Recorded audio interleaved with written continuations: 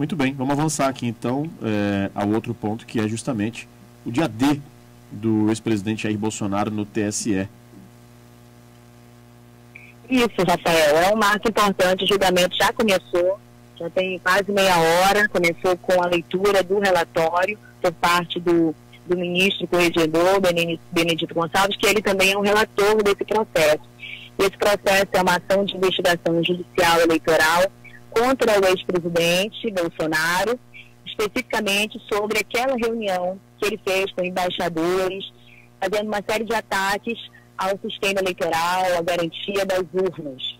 E aí isso foi transmitido pela TV Brasil, isso teve uma, uma extensa cobertura da mídia e foi é, fortemente circulado, né, botou para circular pelas redes sociais e poder de comunicação na internet que o ex-presidente Bolsonaro tinha. Então, é um contexto que complica bastante a vida política do presidente Bolsonaro.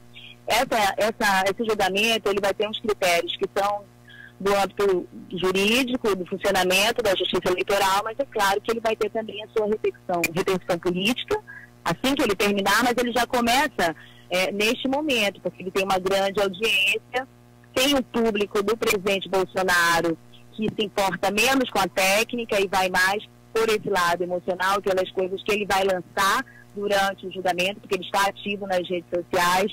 E é possível, tal qual a gente viu depois do resultado da eleição, depois da posse do presidente Lula, que um público que seja mais fanático em relação ao presidente Bolsonaro, inclusive aqui em Manaus, inclusive alguns que nos ouvem, haja é, prantos e ranger de dentes, né? Mas isso, é, eu penso que não vai alterar o, a expectativa para esse julgamento. Esse julgamento do Tribunal Superior Eleitoral, ele reservou um, um grande foco de atenção, porque todos os outros processos é, não, não estão em pauta hoje, amanhã e depois, são três dias reservados só para esse processo. Como eu disse, ele inicia com a leitura do relatório. Na sequência, o Tribunal Superior Eleitoral abre para as sustentações orais dos advogados de todos os lados, tanto da acusação é, quanto da defesa. São muitos os advogados, nomes de peso, nomes famosos dentro da Justiça Eleitoral. E depois a manifestação do Ministério Público Federal, Ministério Público Eleitoral no caso, né? Que, e na sequência deveria vir o voto, aí sim, o voto do relator, do ministro Benedito Gonçalves. O que ele está fazendo é relatando tudo que aconteceu durante a investigação. Ele acabou de, de iniciar todo esse processo. Ele é alguém, segundo os juristas que eu ouvi, que lê e fala de uma forma muito pausada. E pelo número de advogados também que se, vão se manifestar, algumas pessoas têm dúvida se ele ainda consegue fazer o voto hoje. Mas se conseguir, a expectativa é que apenas o voto dele seja lido hoje. Então, os demais votos ou é, a expectativa de pedido de vista, como o próprio presidente Bolsonaro já falou, né, em relação numa, numa entrevista, isso deve acontecer no dia seguinte, amanhã. Então, essas apurações que a gente tem aí de bastidores de quem acompanha é, o julgamento da Justiça Eleitoral. Agora, tem mais um dado aí que é interessante em relação a essa questão, que vem de 2021.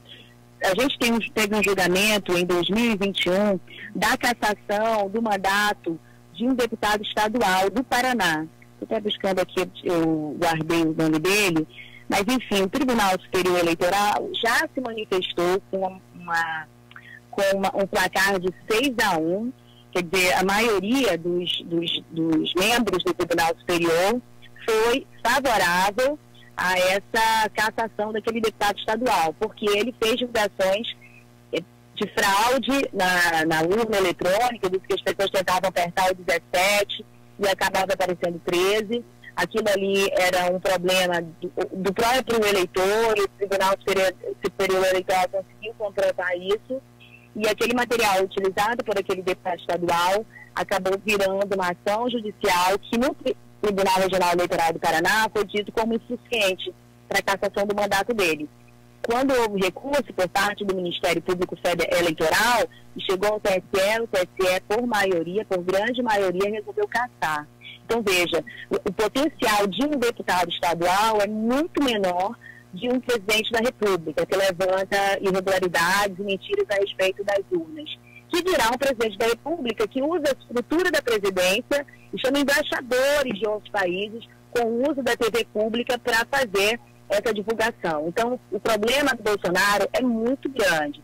Inclusive, sobre a cassação desse deputado, eu estava ouvindo agora o início do julgamento do SE, o ministro eh, Benedito Gonçalves fez essa leitura também. Muito bem. Tá então mais detalhes, mais informações. É claro que também acompanharemos esse julgamento do ex-presidente Bolsonaro, e não só na programação local, mas com certeza, e óbvio, na programação da rede Band News FM. Isso também vai ser destaque com muita informação para os nossos ouvintes. Rosane Carvalho, mais alguma coisa ou se finir por hoje? Por hoje acho que já foi demais. Então, traremos mais informações ao longo da nossa programação. Espaço sempre aberto, claro, quando tiver novidade, tiver informação, para você entrar conosco aqui e trazer esclarecimentos, informação e a análise criteriosa para os nossos ouvintes e as nossas ouvintes também. Até a próxima. Até a próxima.